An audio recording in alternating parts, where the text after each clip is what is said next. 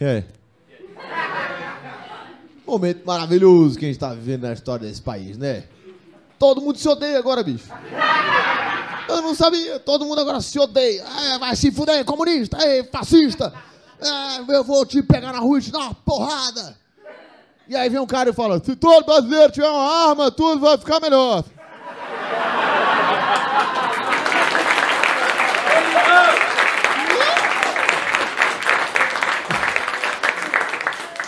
Foi só uma voz aleatória que eu fiz aí, tá? Vocês... Falei o nome de ninguém. Não, é porque eu, eu queria muito falar sobre isso, sobre arma. Quem aqui é a favor do porte de arma? Pode levantar a mão? Eu não vou zoar, não. Prometo. Ali, um ali no fundo, tá, legal. Ah, quem é contra? Bacana o resto, né, também. Eu não devia... Não, mas bacana. É porque teve, teve, gente, teve gente que fez... Porra, não sei, às vezes depende do... Mas...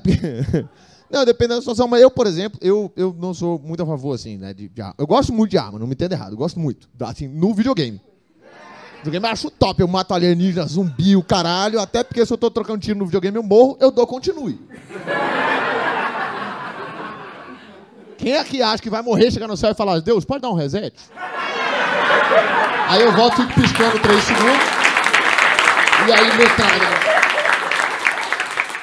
Eu não, eu não, eu de verdade não acho assim. E tem, porque até eu, eu não gosto, não gosto de arma de verdade, porque todas as situações que eu tive com arma na minha vida, que eu vi arma na minha frente, foram muito traumáticas para mim, né? Porra, fui assaltado, perdi coisa que eu trabalhei pra caralho pra comprar e me fudi.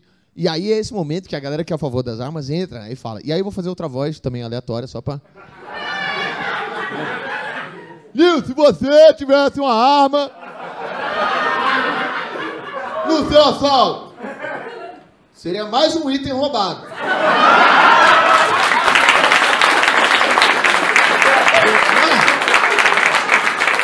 Você não tá achando que eu tô armado, cara, eu só quero. Pá! É, é a Vila Oeste, caralho. Não, não tem nada a ver um negócio com o outro. E ainda mais eu sou mongo pra caralho.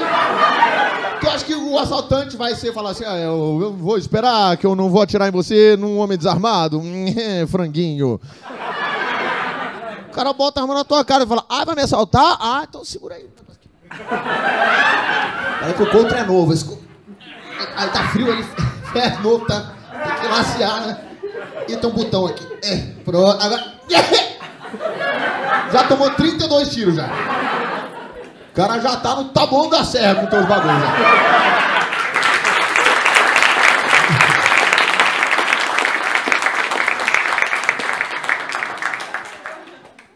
Outro argumento que a galera tem. Eu quero ter uma arma para me defender e defender minha família. Arma não é defesa, irmão. Arma mata os outros. Arma é ataque, caralho. Se filha da puta fosse técnico na seleção brasileira, ele ia botar o Neymar na zaga, o retardado. Arma é pra matar os outros. Quer se defender? Compra o colete à prova de bala. Não faz mal pra ninguém. Anda lá com o colete. Estiliza o colete. Você é viado, bota uma Beyoncé no colete. Estiliza o colete. Compra. O colete. Você não vai ver. O Fernando morreu de quê? Puta, arrumou uma treta no bar. Foi espancado com um colete à prova de bala até a morte. Não, eu te prometo que nunca vai acontecer isso. Tem umas coisas nada a ver. E essa parada da, que a galera fala assim, ah, porra, ah, vão salvar a gente, porque aí vai ter o porte de vai salvar. Mas a gente, na verdade, está aprendendo a viver em sociedade. A gente, é um, a gente é um país, uma sociedade muito nova, a gente está aprendendo as coisas ainda. Eu vou te dar um exemplo, eu tenho dois filhos em casa. Eles tretam direto. E eu tenho que resolver, porque eu há mais tempo, eu sei das coisas. Eu falo, filho, olha, tá errado, tá de castigo. Filho, tá certo, filho, faz isso. Você quer que eu resolva como? Meus dois filhos estão tretando, falam, toma um 38 para cada um e você resolve aí, foda-se.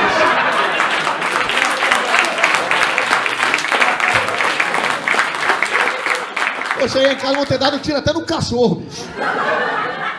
Pode, cara. A gente tem que pensar direito nas coisas, bicho. Porra, ter arma é um negócio muito perigoso. Ter arma, cara, muito perigoso, muito perigoso. Se, o, se a polícia que é armado e treinado não resolve, o exército que não é armado, treinado não resolve. Você acha que o Fábio que faz comunicação na PUC.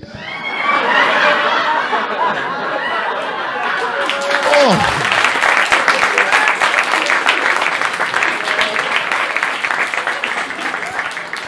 Não adianta, caralho. Né? Aí outro argumento que o cara tem. Se todo brasileiro tiver uma arma, os assaltantes vão pensar duas vezes. Os caras assaltam carro forte, irmão. Você acha que os caras que pegam um veículo de uma tonelada e meia, blindado, com quatro guardas fortemente armados dentro, vão olhar e falar: Acho que o Fernando tem um 38.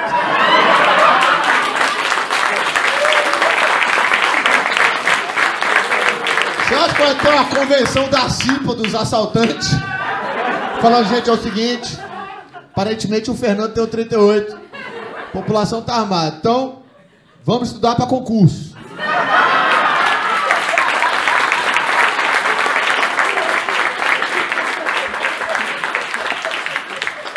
Vamos pensar direitinho, vamos pensar com calma, tá bom? A gente tá num momento muito delicado do país agora, só vamos pensar direitinho, vamos pensar nas consequências das coisas, porque né, você não vai pegar uma, você vai sair atirando nos outros no meio da rua. Né? Não é isso? A galera que arma quer por causa de poder, entendeu? Fala, ah, eu, porra, foda-se, eu não gosto, porra, foda-se. Ah, pá, isso eu também é só do caralho, se eu não fosse preso. Eu falar, eu falar, chega a pessoa e fala, bom dia, ela fala, boa tarde, né? Pum, morreu, muito melhor.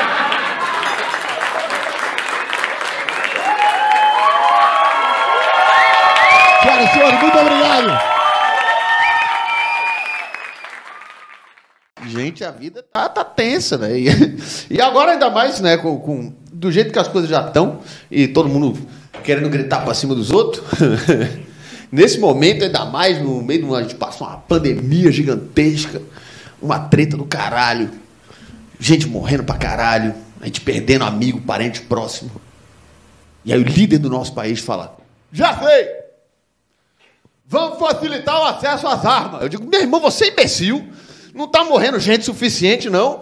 Pra dar, ter que dar fuzil pros outros agora. Porque assim, eu vou falar do bagulho, que eu, eu preciso falar disso agora. Pode ser que seja até um pouco incômodo. É, mas pra mim, vocês vão entender por quê. Eu fiz um vídeo há dois anos atrás falando sobre porte de arma. Que eu sou contra, ter minhas razões e falei no vídeo.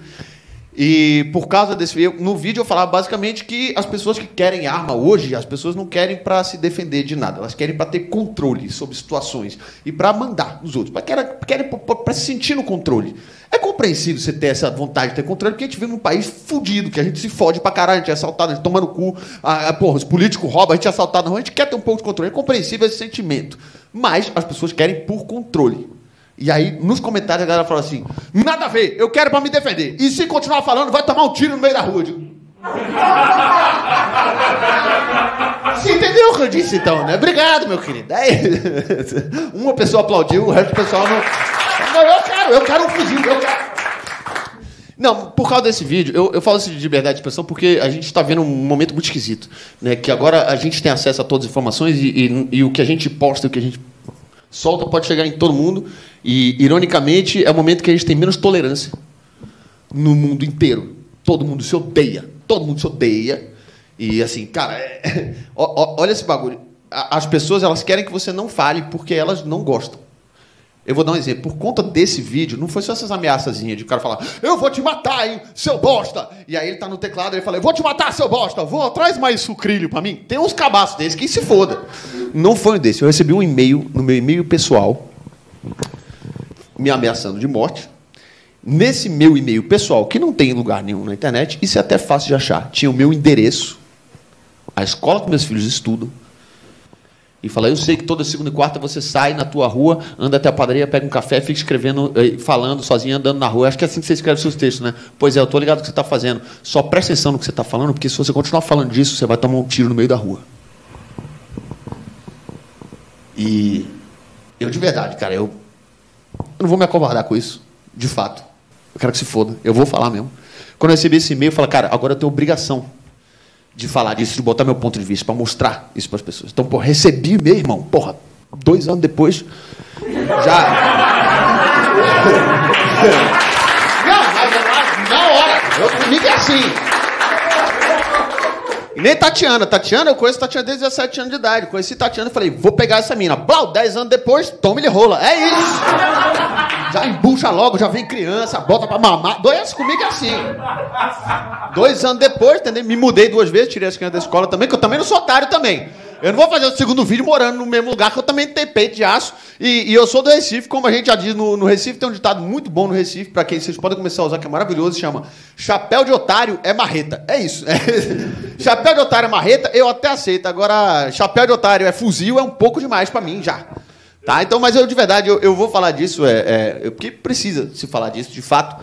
É, principalmente essa nova legislação é muito, muito aberta e muito agressiva. Por exemplo, as pessoas que defendem armas sempre falam isso para mim. Nil, olha, é, eu, eu, algumas pessoas falam isso para mim. Ó, o problema é que você ficou falando assim e você está desinformando, porque eu quero ter minha arma em casa. Eu falei, tá bom, é tua casa. Eu não falei de posse.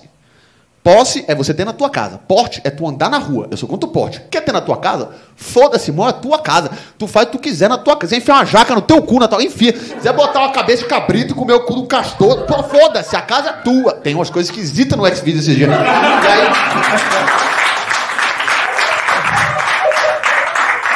casa é tua.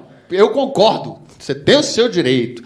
Eu não teria. Não teria. Primeiro, porque eu não gosto. E segundo, porque eu sou muito desorganizado. e eu tenho filho pequeno. Eu não, se eu tenho uma arma em casa para começar, que eu não ia botar no mesmo lugar por causa dos filhos, tô com a arma, o assaltante em casa falou: Amor, cadê as balas? Ela fala: Tu não acha porra nenhuma? Eu falei: Não, é o momento, rapariga. Vão matar a gente, cadê as balas? E eu subi nos armários, aí começa a espirrar com remédio. Não adianta nada. Arma, sabe? Nada.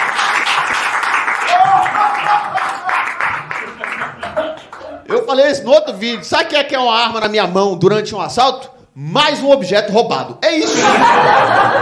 Aí tu fala, Nilmar, porque você é burro. Você é burro. As pessoas, quando são assaltadas e reagem a assalto, é, elas se livram do assalto. É, estatisticamente, você está redondamente errado. Estatistica, estatisticamente, 90% das reações de assalto terminam em morte ou ferimento do cara que estava sendo assaltado. Ou seja, tem 10% de chance. Vai, Nilmar, eu tô dentro de 10%. Acho difícil. Por exemplo, o cara que geralmente a galera que é muito a favor das armas defende, o nosso glorioso capitão Cloroquina.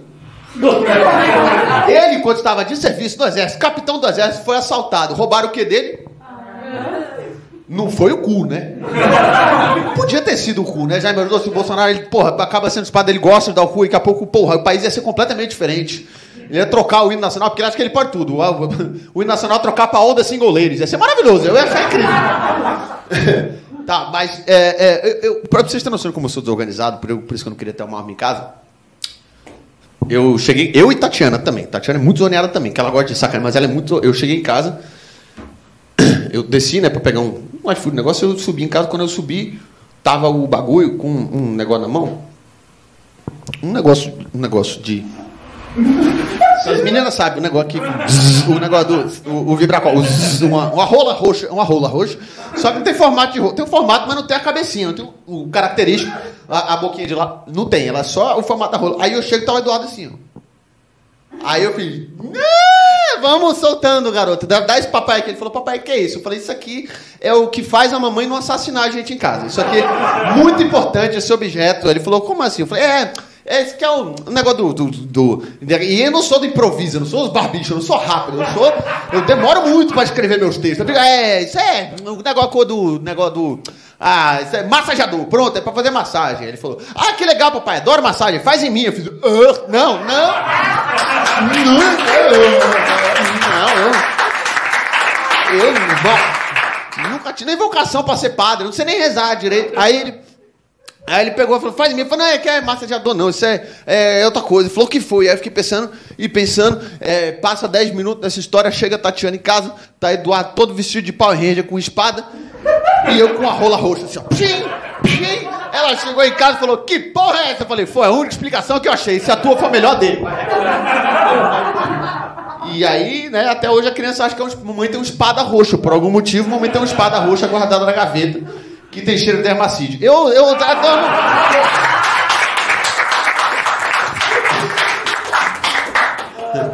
Voltando ao assunto, o que, que é perigoso do que a gente está falando dessa legislação? A gente já teve o, porra, o referendo e tal, então a gente pode ter armas legalmente, só que é um puta processo para você tirar e é caro pra caralho. Isso diminui a circulação de armas. E, e, tem muita gente que fala assim, cara, mas os bandidos têm arma, os ricos têm arma. E aí eu, porra, eu, porra, trampo na periferia, me fodo pra caralho de trabalhar, e aí vou chegar em casa e vou ser assaltado. Eu quero ter direito à facilidade pra eu ter arma. Mas não vai chegar em você, irmão. Sabe quanto é que custa uma pistola? Custa 9 mil reais, uma pistola. Mais a documentação, custo e tiro, o processo inteiro sai quase 20 mil conto. Quem é que mora na periferia e tem grana? Ninguém. Sabe para quem é esse projeto? Não é para nós. É para eles. É para quem é rico pra caralho, que vai ter mais dinheiro, vai ter pistola, vai ter fuzil, vai ter o caralho em casa. Para até o momento ele ser assaltado, o nego roubar o arsenal dele todinho e a porra das armas parar na favela do mesmo jeito. Não é nada para nós. Nada. Nada. Se fosse, a arma ia custar dois reais. Não vai custar, que se foda. É para a indústria de arma e para os lobby e para a galera. É, ó, eu vou te explicar. A grande treta da, dessa legislação para mim são os CACs. Sabe o que, que são os CACs? Os CACs são é, caçadores, atiradores esportivos e colecionadores. São pessoas que têm direito a ter mais armas.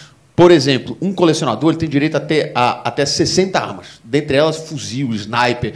Uma arma que um, um sniper pode matar uma pessoa a, a mil metros de distância, um quilômetro de distância. Se você se planeja tanto para matar uma pessoa a mil metros de distância, eu acho que dava tempo de ir embora.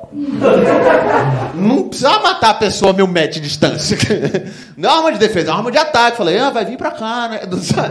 Porra, não, eu, eu acho que não precisa. Os CACs, eles podem ter 60 armas e 5 mil munições. Os caçadores, para começar, oi? Quem caça? Em São Paulo.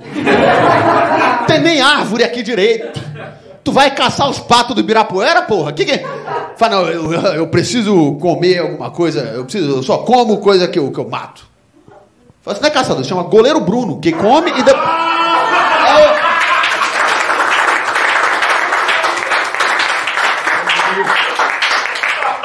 Vou deixar claro que eu não quero ser sexista aqui. Ou flor de lixo.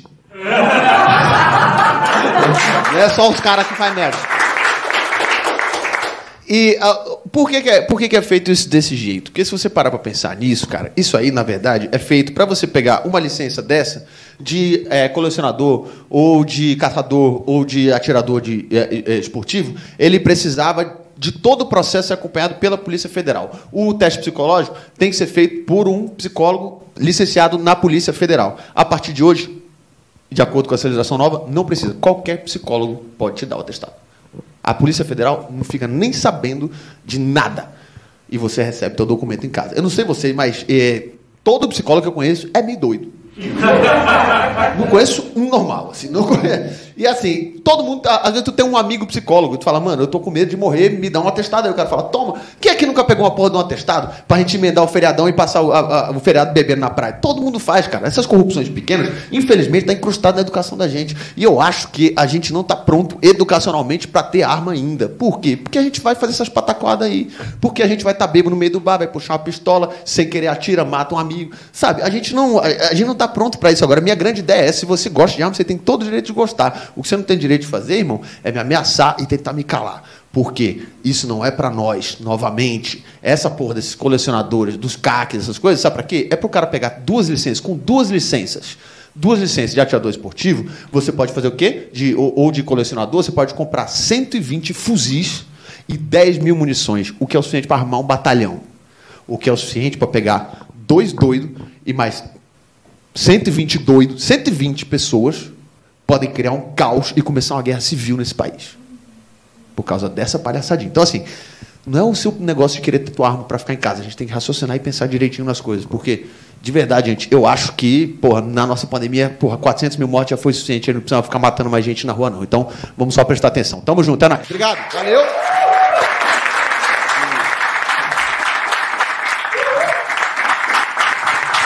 Climão, né?